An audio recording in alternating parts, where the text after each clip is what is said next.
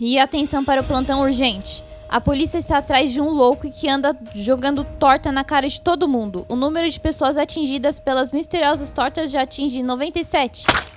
Que isso? 98, 98.